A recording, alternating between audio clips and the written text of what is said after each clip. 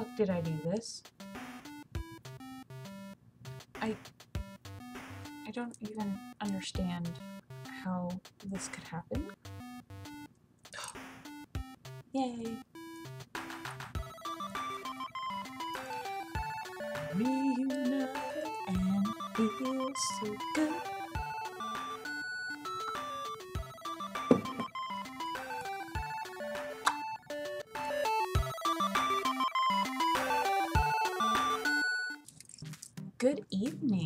ladies and gentlemen. It is me, your pretty pig-tailed advocate for chair shots and dirty thoughts, here with a wonderful another edition of the Sinful Sevens.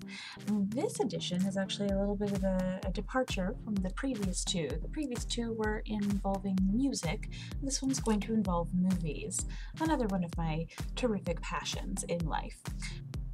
So this is my top seven favorite movies of all time. So it was really difficult to choose a top seven. Um, and I'm sure later on down the line, either something else is going to come out or I'm going to be exposed to something else. And I just realized I'm going to have to change one of these. Holy crap. How did I forget?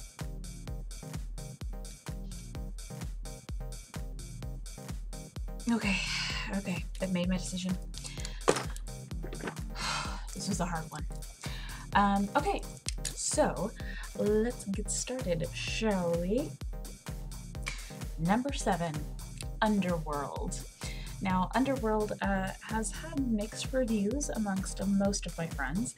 Um, it, to, by today's standards, the CGI doesn't hold up as much as I would like it to, but it's still a fun thrill ride. I love every aspect of that movie. Um, occasionally I just I have this thirst for an action flick that's just kind of like crazy and unbelievable and this does it. Um, it is action through and through. Um, the love story is really underplayed, which I like. I can't do the whole sappy chick flicks. Just I can't grasp onto them. They don't they don't catch me. Uh, and Underworld is perfect. It is mostly action. It is based on uh, the world war between vampires and werewolves in a modern day recent rendition.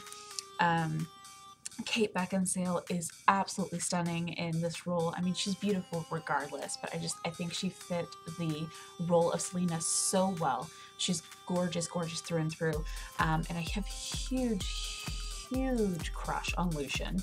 Um, I, I've actually kind of looked into this because I was curious if it was just Lucian the character or if it was the actor, and it's just Lucian the character.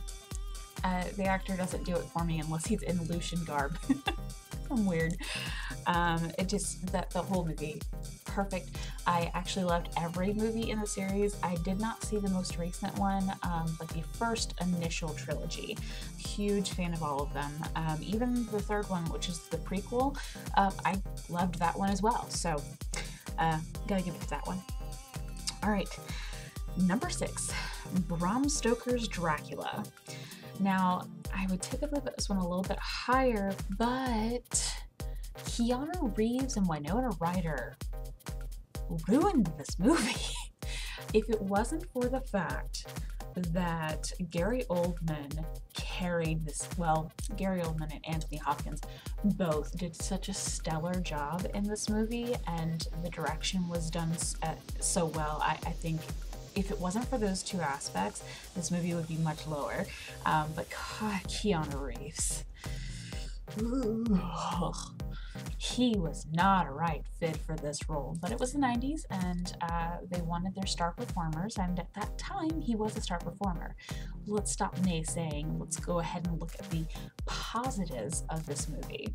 What it does right. Gary Oldman, he is a god. He is my favorite actor. Uh, he is he transforms into every role he does and this is a prime example of this because he he goes through all the different phases of Dracula and and he owns each one of them perfectly but the pacing of the movie was perfect um, it just it was so beautiful I love that movie all right uh, number five it's taking a minute because I just changed the list last minute and it's throwing me off. Number five, Interview with the Vampire. Uh, so, The Interview with the Vampire was the film adaptation of another vampire book, uh, Anne Rice's Interview with the Vampire following the story of Louis and Lestat. Um, and I gotta say, I am not a Tom Cruise fan. I don't like anything he's ever been in. I don't like him as an actor. I don't like him as a person. But in this movie, he owned it. He was Lestat. He is Lestat. Like, I can't. When Queen of the Damned came out, it was very hard for me to break what I knew of Lestat because Tom Cruise really killed it in this movie. Um, just what can you say about this movie that hasn't been said? Um, it has just the right amount of dark humor.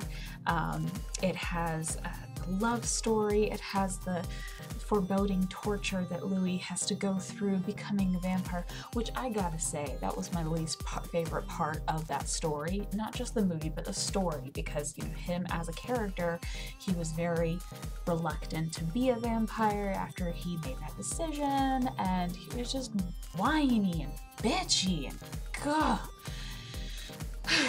I hate that. I really do. I just that that was the only thing I didn't like about that movie um, and, and that story because obviously he was that way in the book. But just I just wanted him to be like, shut up.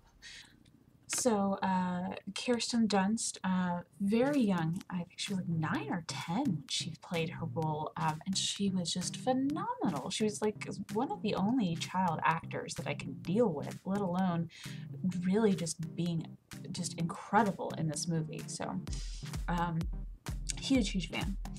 Uh, let's see, I'm on number four Rocky Horror Picture Show. Uh, I love the Rocky Horror Picture Show. This is one of those movies you can put on in any mood at any time. You will sing along with every song, and it will take you out of whatever funk you're in.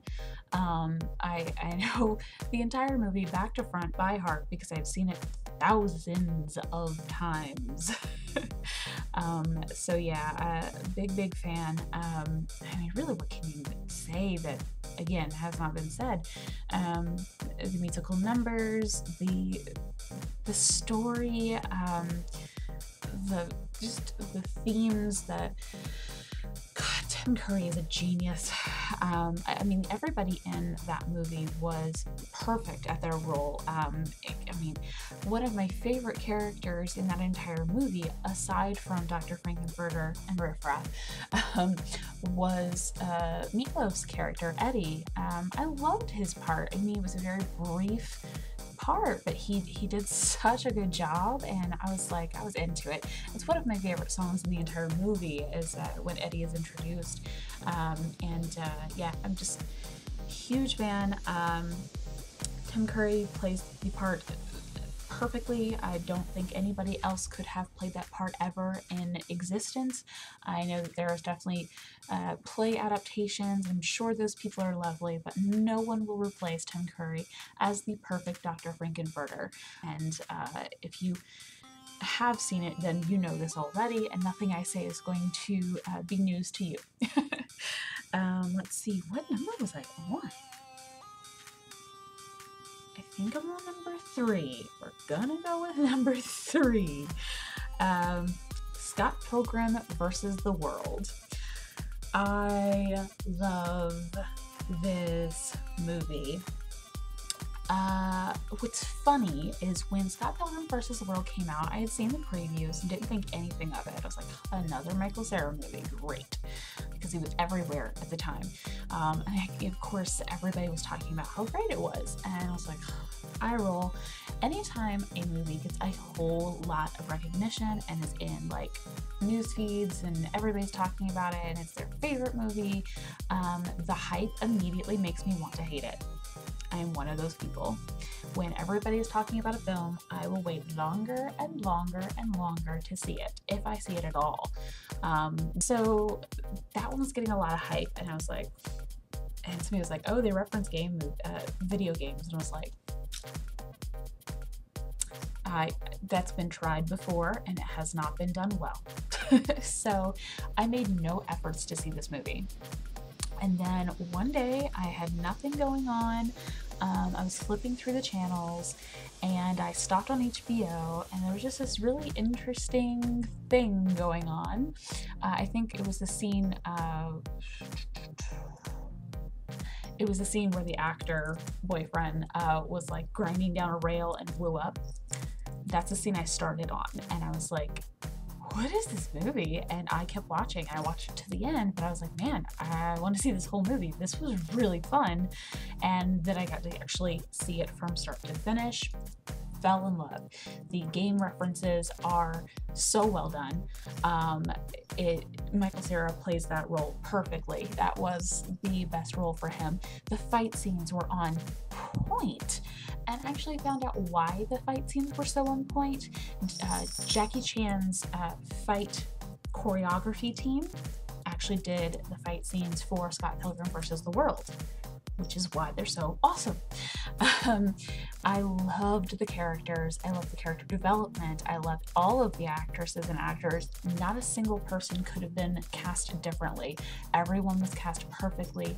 Uh, I then discovered the graphic novel after the movie was released, um, and I think they did a bang up job creating these characters. Um, I, I'm a fan, fan, fan. I will watch that movie over and over and over again and never ever get tired. So if you have not seen that or the hype killed it for you and you decided not to see it, it is worth watching. It is worth watching multiple times because, like, after the second time, you'll notice something that you didn't notice the first time, and oh, so on and so forth. Um, I can't even name a favorite scene. There are just so many great ones. Um, so that is one to check out for sure. Number two, The Ugly. This beautiful film is a psychological thriller from New Zealand. Uh, it is really hard to find. Luckily, um, when I was in high school, uh, this guy that I was in like one of my random classes with um, came over to hang out one day. And he's like, "I want, I want you to see this movie." It, it floored me. And uh, this was in the time of VHS, back way back yonder. Um, and as soon as he showed it to me, oh my god, Whew. this film is so beautifully done. Um, it, it's lots of um, chaos and, and back and forth, and you're kind of delving into the psyche of a serial killer um, and uh, so you see some of things that happened, and then it flashes back to when he starts talking about it. And they do this brilliant thing where they combine the scenes. So you'll be looking at the scene in a bar, and then all of a sudden, the guy in the flashback in the bar is in the, shackle, the shackles that he is in today at the mental ward and it's just so beautifully done. The cinematography in this movie is so incredible. It's just perfection. It's another one of those films that you have to see multiple times or, or not see something, and you're going to miss all these subtle things. Um, there was a, a scene, uh, and I'm not going to spoil too much, but there, there's a scene near the beginning of this film um, that I totally did not pick up on uh, until I, I want to say like the fourth watch through. Um, it, it, it was definitely very subtle, um, and as soon as I noticed it, I was like, oh my god. There's lots of those moments. Um, it's there. It's uncomfortable where it needs to be uncomfortable. It it's spine tingling where it needs to be spine tingling. It it literally makes your jaw drop frame after frame. Um, I I cannot say enough about that film. Um, luckily, I have it on VHS and DVD. Um, DVD was really hard to come by, so if you guys do see The Ugly anywhere, get it. You will not be sorry. I promise you. Um, it is it is one of the first and only films that made me go, oh, I wasn't expecting that at all. Um, you have to check it out. I don't want to give too much away because it's really a beautiful movie. Um, and don't be discouraged if you watch it more than once and you're still kind of lost because it's it's almost like one of those movies kind of open into to interpretation. There is no direct ending to that movie, um, and you kind of are left wondering, wait, what was that real or was the other part real? I don't know life anymore. Uh, it is so thought provoking and so beautifully done. such a huge fan of that movie. I, you know what, just for shits and giggles, there's two movies that almost made the cut. So these are my honorable mentions Kung Pow and Nightmare Before Christmas. So, honorable mentions out of nowhere. Number one, this will always be my number one movie. Always, always, always. Nothing has dethroned it so far, and I don't think anything ever will. The Crow.